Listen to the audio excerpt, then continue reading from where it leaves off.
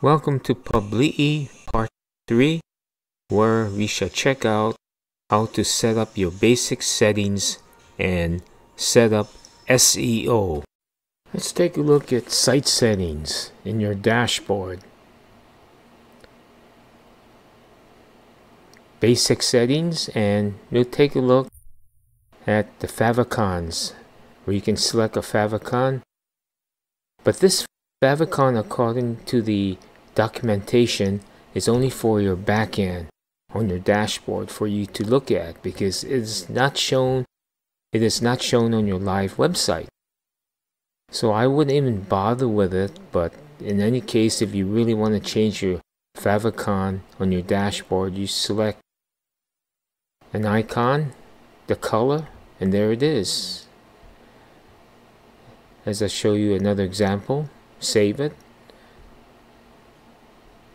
so that's the purpose of the favicon, strictly for the backend.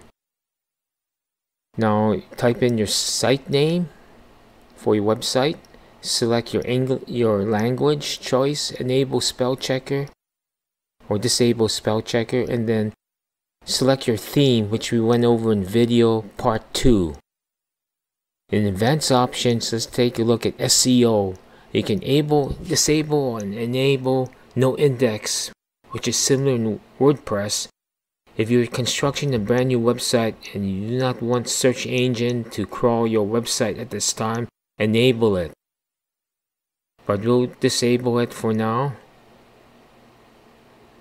and go through the settings. Well, if it, if it is enabled, you can have a choice of setting up post page, tag page, or author page if you want, or if you have one. In our case, we do not have any of these, so let's disable all and go back to no index website disabled.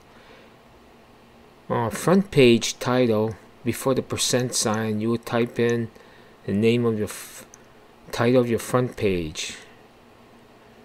And if you have a Oh, don't forget the meta description of your website that you can put in this uh, text box here in the dashboard.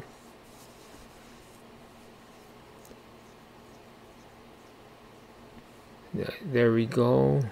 Finish this. Meta robots. I would leave that alone.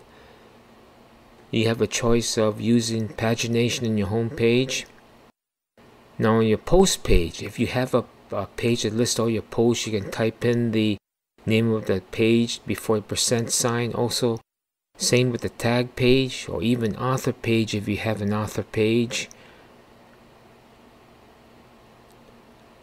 Error page, but I would leave this alone for your 404 error. A search page if you have one and if we go all the way to the bottom you can delete your entire website which we do not want to do at this time. So that's all the settings for SEO in video number 4 we will take a look at even more basic settings for your Publii website